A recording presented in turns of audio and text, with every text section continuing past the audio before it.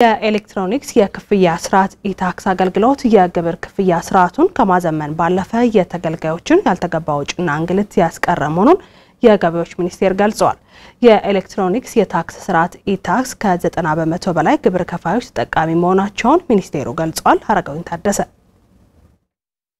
የገቢዎች ሚኒስቴር የገቢ ሂሳቦች አስተዳደር ዳይሬክተር ሬድዋን ከድር እስካሁን ከ40 ሺ በላይ ግብር ከፋዮች ወደ ኤሌክትሮኒክ የማሳወቂያ ስርዓት e-filing ማስገባት መቻሉን ተናግረዋል። አሰራሩ በመዘርጋቱ ደግሞ ግብር ከፋዮች ከሰሩት በላይ እንዳይከፍሉ ሂሳባቸውንና ተመላሽ ገንዘብ ካለ የሚያሳውቁበትን ምቹ ሁኔታ የፈጠረ መሆኑን አብራርተዋል። ለግብር ከፋዮች በታክስ ንቅናቄ የታክስ መክፈያ ስርዓት በመመቻቸቱ በቀላሉ ግብርን በማሳወቅ ክፍያ መፈጸም መቻላቸውን ጠቅሰዋል። ግብር ከፋዮቻችን ነገሮችን ካመቻቸንላቸው ነገሮችን ቀለል ካደረግንላቸው በእጃቸው ካገኙት ገቢ ላይ ታክስ የመክፈል እድላቸው ከፍተኛ ነው።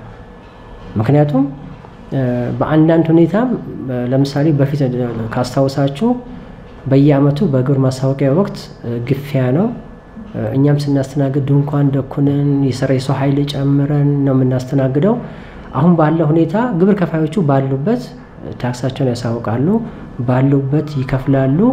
ይህም ነገሮችን ቀለል ማድረጉ ታክስ ከፋዮችም እንዲያስቡ ሌሎች የግንዛቤ ማስጨበጫ ስራዎችን በመንግስት በኩል እንዲሰሩ የሚያደርግ በመሆኑ ለገቢው ማደግ የራሱ አስተዋጽኦ ይኖራል። በመሆኑም የኤሌክትሮኒክስ የክፍያ ስርዓት e-tax የግብር ክፍያ ስርዓቱን ከማዘመን ባለፈ የተገልጋዮችን ያልተገባ ወጪና እንግልት ያስቀረ መሆኑን ገልጸዋል። በፊት ታክስን ግብር ከፋዮች በ manual ሲያሳውቁ ከምንጠቀመው material፣ የሰው ኃይል፣ ሌሎችም ቢሮ ያሉ ቁሳቁሶች ስናየው ሁሉንም ከማሳወቅ እስከ ክፍያ በኮምፒውተር system የሚካሄድ በሆኑ reporting ኦቹም ለምሳሌ አንድ ግብር ከፋይ ሲከፍል ሲያሳውቅ እያንዳንዱ መረጃ በ manual በእኛ ባለሙያዎች ወደ system ወረቀት ተጠቅመን ነው የምንጠቀመው።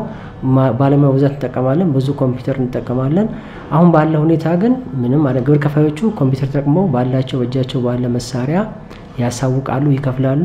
የታክስ ገቢው ከአጠቃላይ የሀገሪቱ ምርት ጥምርታ አንጻር ዝቅተኛ በመሆኑ የግብር አሰባሰብ አቅምን ለማሳደግ የሚያስችሉ የተቀናጁ ጥረቶች እየተደረጉ መሆኑን ተናግረዋል። በመሆኑም ዜጎች ግብርን በታማኝነት በአግባቡ በመክፈል ልማት እንዲፋጠንና ሀገር እንድትገነባ የላቀ ሚናቸውን እንዲወጡ ጠይቀዋል። ሀገሪቱ ከፍተኛ ገቢ የመሰብሰብ አቅም አላት። ምክንያቱም በህዝብም ስናይ ከአፍሪካ ብዙ ህዝብ ያለን ካላቸው ሀገሮች አንዷ ነን።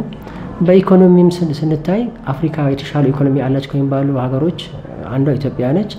ስለዚህ እያንዳንዱ ዜጋ እያንዳንዱ ኩባንያ ካገኘው ገቢ ላይ ትክክለኛ ግብር አሳውቆ መክፈል ከቻለ የገቢ አቅሙ አለ፣ ሊያድግም ይችላል ተብሎ ይጠበቃል።